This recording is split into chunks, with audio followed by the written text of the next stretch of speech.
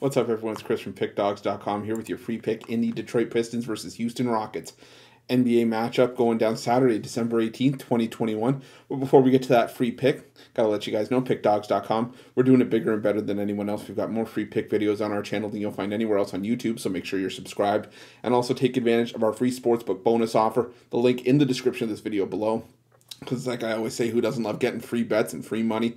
And a lot of times, having an extra sports book in your back pocket, the extra tool on your belt, can often be the difference between winning your bet and crumpling up the ticket and throwing it in the trash. So definitely take advantage of that offer. At the link in the description of this video below. But let's get to this one between the Pistons and the Rockets, and the Pistons, well, 4 and 23 on the year, 13 and 14 against the number. Meanwhile, the Houston Rockets, 9 and 20, 15, 13 and 1 on the year.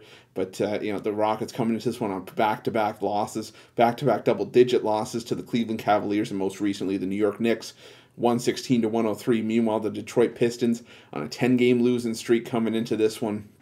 122 to 113 in their last matchup, but they did get the cover. They were getting 10 and a half, only lost by nine. So kudos to uh, the Pistons for, for getting the job done from a cover perspective. But, uh, you know, you look at this matchup, and all of a sudden the, uh, the Detroit Pistons laying a point and a half, and to me, you got to be able to show me that you can win a game before I can really get you to lay points, even against a team like the Houston Rockets, because the Houston Rockets have been winning games more often than not lately. Yeah, they're six and four in their last ten games. They've lost four of their last five, but look at the losses. A Milwaukee team is the defending champions. A Memphis team on the road that's been playing better without Ja Morant defensively.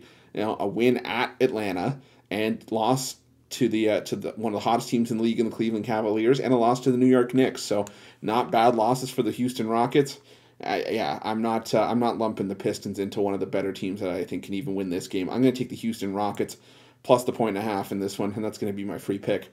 But if you're looking for best bets from myself or any of our other world class handicappers, check out PickDawgz Premium. Also, click the link in the description below for our YouTube VIP package for more premium content. Thanks for watching. Don't forget to subscribe and drop a like, and let's cash some winners.